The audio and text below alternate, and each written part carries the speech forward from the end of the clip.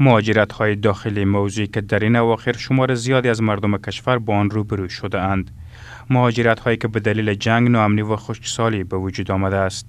اکنون دولت می‌خواد که با بررسی مجدد شرک های مهاجرین و عودت کنندگان زمینه اسکان و محل بوده باشین مهاجرین را فراهم سازد. هیرات ولایت است که شمار زیاد از آوارگان داخلی بین ولایت آواره شده اند. اکنون دولت برای اسکان آوارگان در ولایت هرات شهرک مهاجرین و عودت کنندگان این ولایت را بررسی مجدد می کند.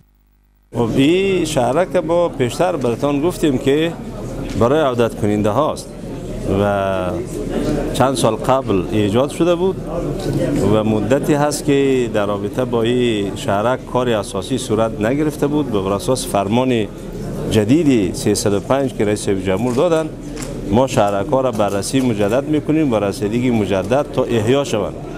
و این شهرک بالاخره خب یکی از او شهرک است که تحت بررسی مجدد قرار گرفت و فعلا برای احیای مجددش کار میشه و در مجموع یک بودجه 32 میلیون یورو هست که بخشش در اینجا و بخشش هم در کابل به مصرف خواهد رسید. وزارت مهاجرین کشور در تلاش رساندن کمک های لازم برای آوارگان داخلی است. اما یکی از چالش هایی که در برابر این تلاش ها وجود دارد عدم تثبیت هویت آوارگان عنوان شده است. وزیر مهاجرین و عودت کنندگان می‌گوید که برای حل این مشکل قرار است از سیستم بایومتریک استفاده شود. طرحی که در این رابطه وجود داره که کمک ها واقعا عادلانه برسه.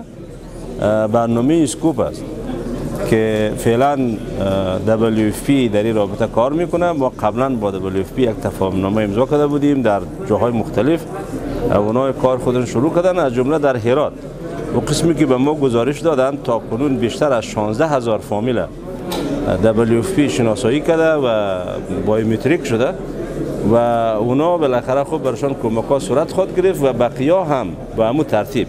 چون این پروسه یک پروسه است که زمانگیر است. طبعا شاید بعضی کسا مدتی مانده باشه تا نوبت برشان نرسیده باشه و یقینا تمامی به جای شده ها شناسایی خواهد شد و به اونا کمک صورت خواهد گرفت. با این حال والی هرات با ابراز خوشبینی از راندازی کار مجدد این شرک می‌گوید که با خانواده های شهدا و مهاجرینی که از خارج کشور بین ولایت آمده اند اولویت داده می شود.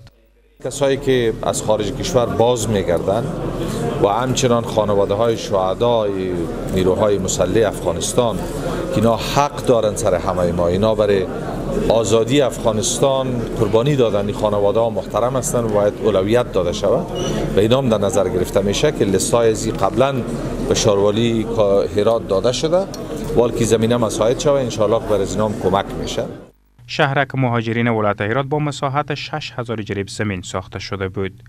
اما این بار وزارت مهاجرین و عودت کنندگان قصد دارد تا با هزینه 32 میلیون یورو حدود یک سوم این مساحت یعنی 2000 جریب زمین را بازسازی کند. با بازسازی مجدد شهرک مهاجرین در هرات حداقل برای 8000 خانواده مهاجر زمینه زندگی فراهم خواهد شد.